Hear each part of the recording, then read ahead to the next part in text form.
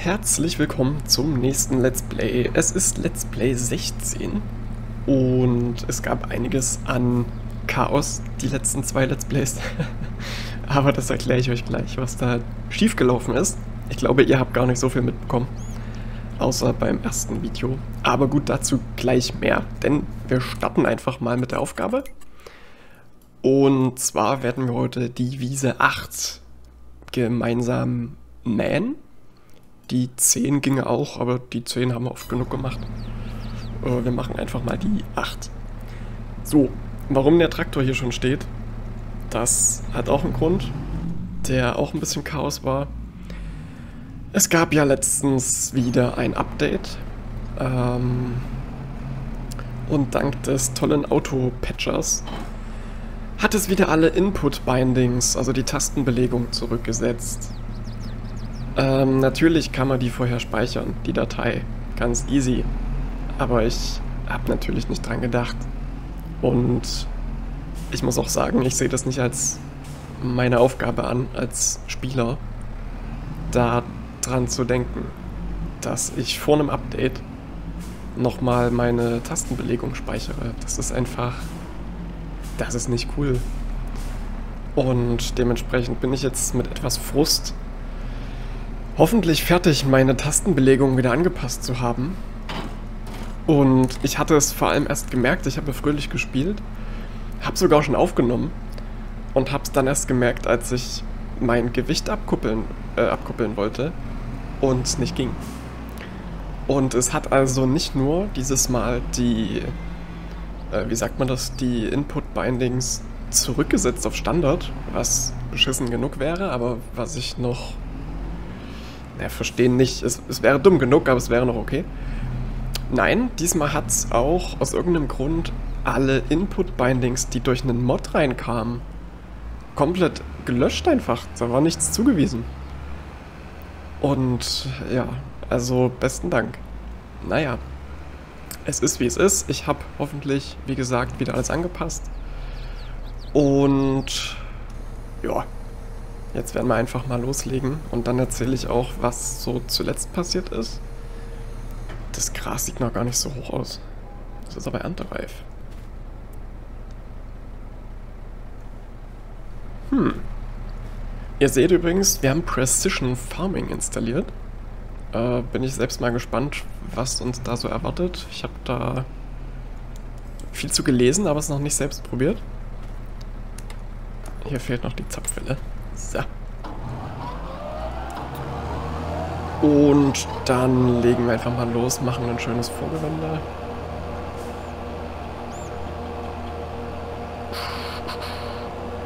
Und übrigens machen wir Silageballen. Also das ist das Ziel, was hier draus entstehen soll. Das hatte ich noch gar nicht erwähnt. Dann müssen wir mal gucken. Äh, ich hoffe eigentlich, dass wir... Es müsste auch klappen, auf jeden Fall zusammenpressen. Äh, ich wollte ja unbedingt die neue äh, Presse von Pöttinger probieren.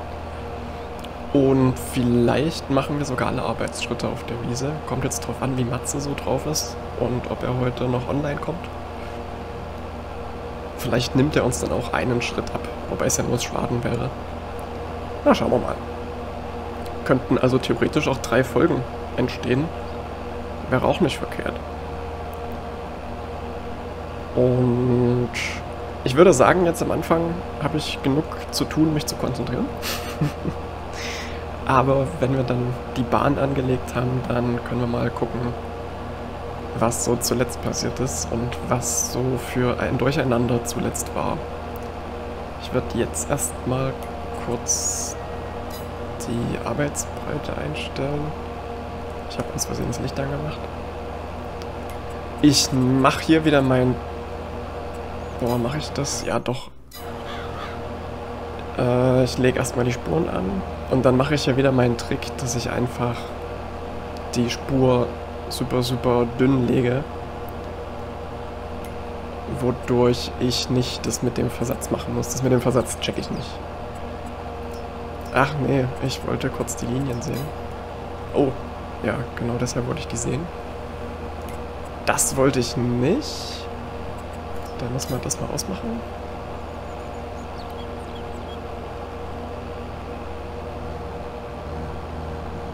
Und gleich bei der Rückfahrt neu anlegen. Gucken wir mal, wie das Feld so gebaut ist. Oh, was denn das? Das wusste ich ja gar nicht, dass das hier jetzt... Was heißt denn 50%? Ist das der Ertrag? Ja, steht drüber, Ertrag.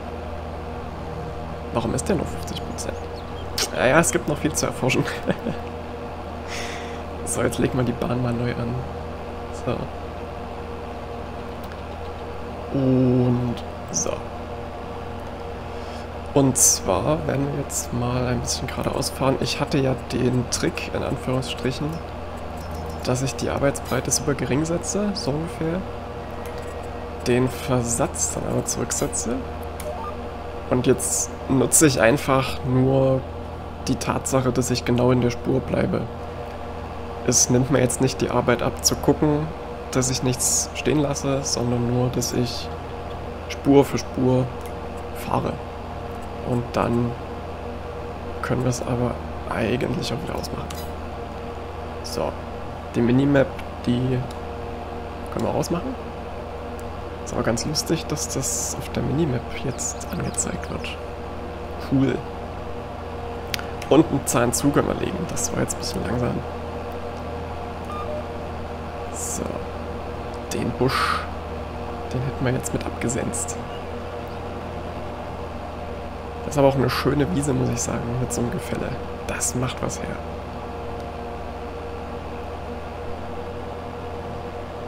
Ja, ich würde sagen, wie viel Vorgewände brauchen wir? Drei Bahnen vielleicht? Schauen wir mal. Jetzt hätten wir schon wieder einen Busch weggesenzt. So, jetzt wollte ich mal gucken, man konnte doch beides zusammen anheben, ne? Jawohl.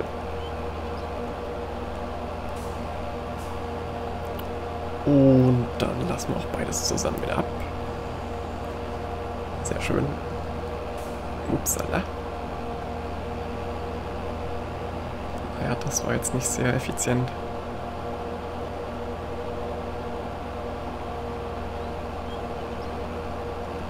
Und jetzt würde ich... Komm, wir machen das Vorgewende mal hier vorne fertig. Drumrum. Drumrum. Drumrum müssen wir es ja nicht unbedingt machen. Reicht eigentlich hier an den Fronten. Und ich würde es mal mit drei Bahnen probieren. Sieht eigentlich recht komfortabel aus. Wenn es doch zu eng ist, dann können wir ja noch eine dran machen. Und jetzt müssen wir mal gucken.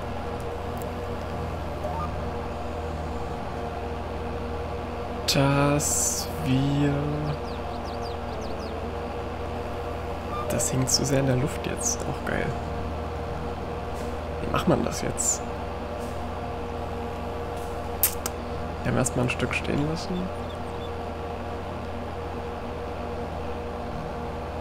So, die Bahn würde ich mal noch sicher angehen. Da lassen wir mal ein Stück übrig, weil wir hier und da einen kleinen Schlenker drin hatten. Und dann können wir aber schon anfangen, mal zu gucken, was passiert ist. Und zwar brauche ich dazu tatsächlich Notizen. Denn es ist einiges durcheinander geraten. Und mit meinen Notizen möchte ich verhindern, dass das wieder passiert. Und zwar es ging los mit dem Let's Farm 14. Das war das Let's Farm, wo ich das falsche Thumbnail hochgeladen hatte. Und das Lustige daran ist, dass ich... Das ist das erste Video, was ich nicht nochmal, zumindest zu Beginn, angeschaut habe, ob es auch passt. Was ich sonst immer mache. Und ich hatte dann, das war auch die extrem stressige Zeit, wo ich Boah, das war eine scheiße Zeit. Ich hoffe, es wird jetzt besser. Und da habe ich auch erst einen Tag später, Verzeihung, die Kommentare lesen können. Und das hatte ich getan. Und dann muss, also dann hat einer kommentiert von euch, äh, ich habe jetzt einen Namen nicht notiert, ich hoffe, das ist jetzt kein Problem, dass entweder der Titel oder das Thumbnail nicht passt. Zumindest habe ich so gelesen. Ich weiß nicht mal, ob es im Wortlaut so da stand. Aber das, das ist so bei mir im Gehirn eingegangen. Und dann habe ich gesehen, Tatsache, im Titel stand nämlich Let's Farm, keine Ahnung, 13 oder was. Und im Thumbnail Let's Farm 15. Oder, also es, hat, es, es gab eine Diskrepanz. Und dann dachte ich, ja klar, das ist der Fehler, den der Kommentator meinte. Ich habe das ausgetauscht, dachte mir, gut, alles behoben. Und dann abends hatte ich mit Matze gespielt und Matze hat gefragt, ob ich das Video jetzt korrigiert habe. Und ich dachte mir, was? Welches Video? Und Matze hat mich dann also erst darauf hingewiesen, oder wer von der auch, Matze hat mich erst darauf hingewiesen, dass nicht irgendwie zwischen Titel und Thumbnail was nicht gepasst hat, sondern dass das ganze Video falsch war. Und ihr habt es natürlich sofort gesehen, logischerweise. Ich hatte, das ist eigentlich die Kurzfassung, ich hatte das Thumbnail vom Miststreuen hochgeladen und das Video ging um die Ernte. Und da hatte ich also das Thumbnail von der folgenden Woche schon genommen.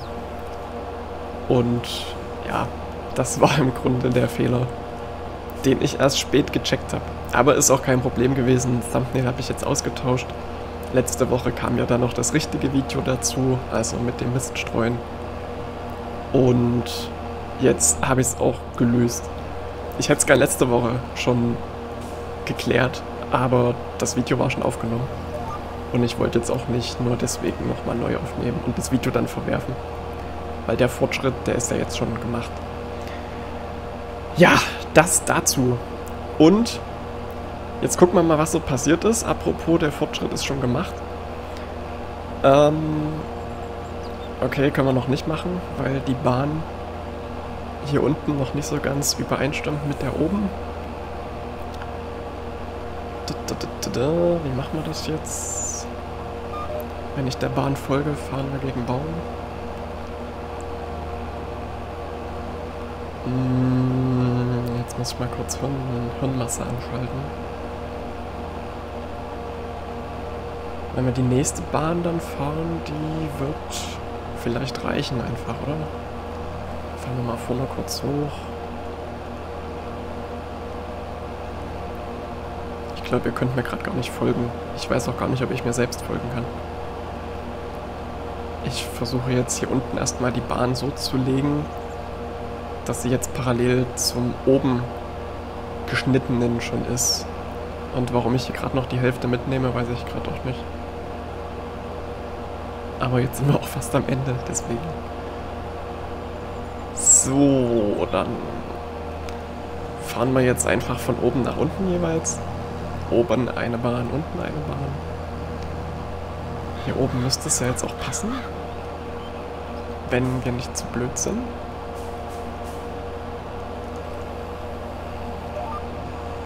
So. So, hier oben passt die Bahn. Also, passt auf.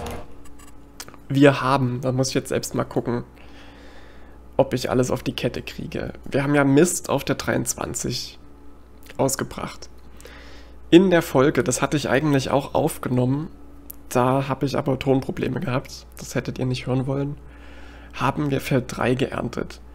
Da ist mir übrigens auch ein Fehler unterlaufen, da war kein Raps drauf, was ich lange gedacht habe, da war Hafer drauf. Hafer auf der 3 haben wir also geerntet. So, dann, das hatte ich auch aufgenommen, hatte aber, das war derselbe Tag, da dieselben Probleme, haben wir die 3 äh, mit einer Scheibenecke bearbeitet. Matze hatte vorher Gülle draufgebracht. Und dann hat der Matze irgendwo Raps ausgesät auf der 6.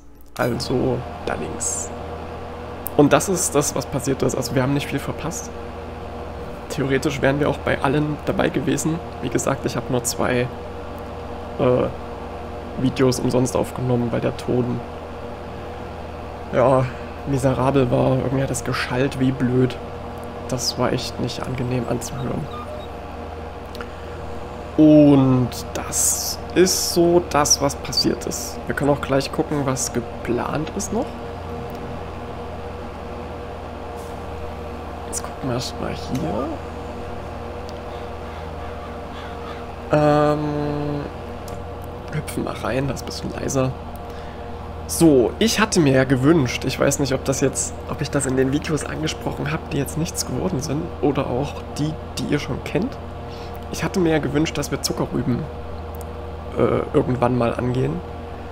Die Zeit wird, oder die Saison wird jetzt kommen. Wir haben, oder Matze hat, der ist unser Chefplaner, auf der 23 Zuckerrüben geplant. Die wird, die werden im Frühjahr gesät. Und vorher muss man vermutlich jetzt auch noch im Herbst, also demnächst, das Feld noch kalken. Ich glaube, die drei, war das Feld 3? Ich glaube, die 3 hat auch Kalk gebraucht. Ach nee, das war Saatbett. Äh, wo ist denn das mit Kalk? Saatbett? Bin ich gerade blind? Ach so, oder war, ist das jetzt wegen Precision Farming weggefallen?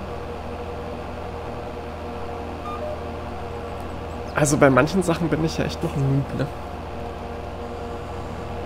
Ähm, aber ich muss auch zu meiner Verteidigung sagen, dass Matze den Precision Farming Mod reingehauen hat und ich mich noch nicht damit beschäftigt habe. Wenngleich ich, also von dem, was man so hört, finde ich den schon sehr cool. Äh, bin mal gespannt, wie das Spielen damit so ist. So, wir nehmen jeden Zentimeter mit. So ist besser. Aber dann wird durch den Mod vermutlich Kalken wegfallen. Oder ist Kalken hier? pH-Wert, ach du Scheiße. Wieso zeigt es mir den eigentlich nur hier an? Weil ich nirgends, weil ich noch nicht gemessen habe, woanders oder was? Okay, okay, okay. Der Ertrag ist miserabel auf unserer Wiese. Saatstärke. Hoch ist vermutlich zu hoch, oder? Eieiei, na da wird aber noch was. Also da muss ich mich noch ein bisschen mit beschäftigen. Auf jeden Fall werden, werden wir mal auf den anderen Feldern dann auch noch die Werte bestimmen müssen. Das hat Matze scheinbar auch getan. Da müsste ja genau auch dieses Teil hier da sein. Das können wir eigentlich auch mal probieren. Für spätere Arbeitsschritte. Ja, cool, cool, cool. Ich muss jetzt nur sagen, dass ich keinen Plan habe, was der Kalk mit dem Boden macht. Das wird dann wieder was sein, was ich lerne und mitnehme. Ist schon verrückt, was man so über das Spiel für die Landwirtschaft lernt. Das ist schon ganz cool glaube, gerade deswegen ist bei dem Precision Farming Mod auch so viel Geld geflossen. Also das wird ja irgendwie von der, von der Europäischen Union gefördert. Äh, gab auch die Uni Hohenheim, die da mit involviert war. Das habe ich mir gemerkt, weil meine Freundin dort studiert. Äh, die hat aber damit nichts zu tun. Und ja, aber das beschäftigt mich jetzt. Was macht denn Kalk mit einem pH-Wert zum Beispiel? Oder hat Kalk mit Stickstoff zu tun? Ich würde ja vermuten mit Stickstoff, oder? Ach, wenn ich es nur wüsste. Hilfe. Gaspedalbremse. Nee, nicht Gaspedalbremse. Precision Farming, pH-Wert. Doch pH-Wert, verdammt. Stickstoffgehalt ist dann durch Gülle und Misten.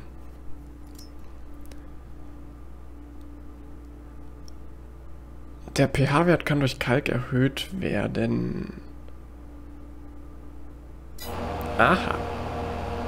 Das wird noch cool, glaube ich. Das wird noch cool. Fahre ich eigentlich mit 12 km/h zu langsam?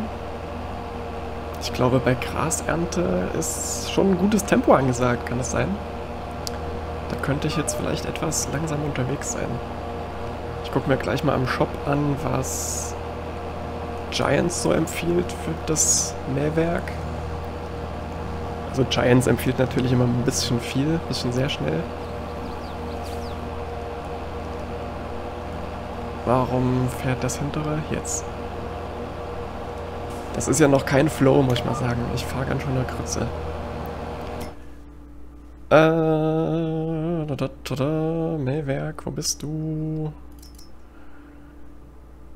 22 km/h. Ja, dann können wir ja aber deutlich schneller fahren. Haben wir mal 16 rein, oder?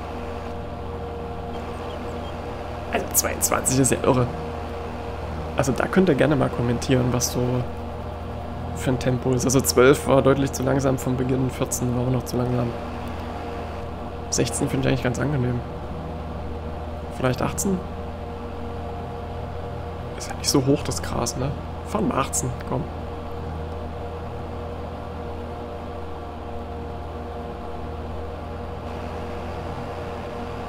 Zweiundzwanzig, meine Allem mit 18, da kriege ich doch das Wenden nicht hin. Da werden wir mal ein bisschen Tempo reduzieren für den Wendevorgang. Ein bisschen ausholen. Und vielleicht muss ich auch Indoor fahren. Ups. Ja. Vielleicht, vielleicht. Aber besser wurde es jetzt dadurch nicht. Wobei ich gar nicht so genau sein muss, würde ich sagen. Denn es bleibt ein Stück stehen. So, aber dann haben wir dieses Video sogar ununterbrochen gemacht, ohne Unterbrechung. Auch nice. Dann machen wir das nächste Video Schwaden. Das können wir auch als ein Video bringen, würde ich denken. Da können wir vielleicht sogar noch dranhängen, äh, wie das hier mit dem Precision Farming Messen funktioniert. Das können wir eigentlich zeitlich bestimmt damit reinpacken. Und dann werden wir auf jeden Fall pressen. Also das, die Arbeit klaut mir der Matze nicht. Ich will die, Säma die Sämaschine, oh, die Ballenpresse probieren.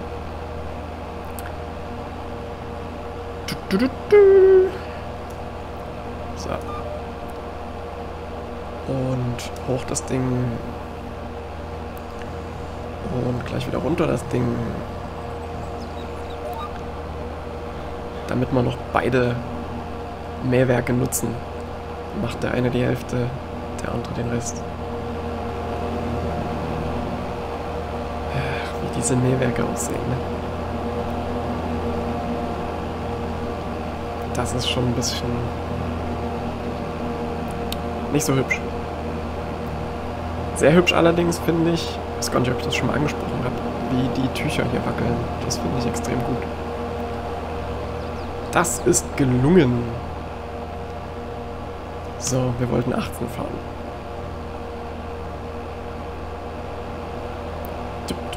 Und ich hatte, äh, siehst du, das fällt mir doch jetzt noch ein, ich, das hatte ich auf jeden Fall in dem Video erwähnt, was ich jetzt verworfen habe, leider.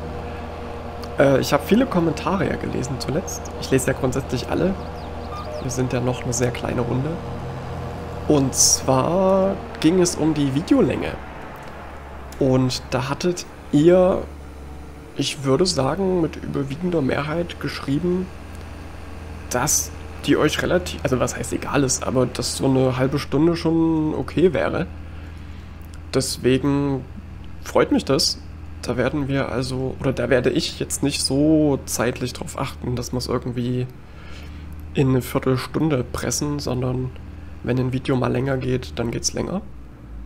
Und so eine halbe Stunde sollte dann schon irgendwann Schluss sein nach einer halben Stunde. Aber das hat mich sehr gefreut. Das fand ich sehr gut. Und auch sehr interessant, muss ich sagen, weil ich schon das Gefühl hatte, dass kurze Videos populärer wären, aber beim Let's Play vielleicht nicht. Weil es vielleicht doch was Entspanntes für nebenbei ist, für dazwischen beim Chillen. Oder, oder, oder. So, dann machen wir es zumindest noch sauber. Das Tüchle und die Klingen. Und hier vorne ist besonders dreckig.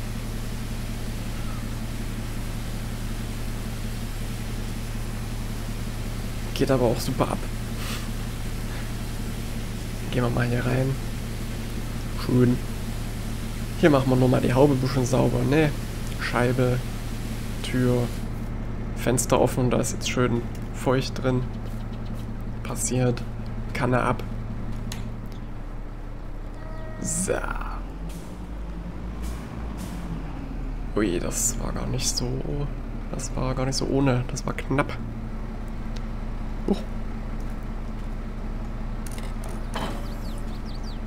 Das hat Rums gemacht. Und dann wenden wir mal fix.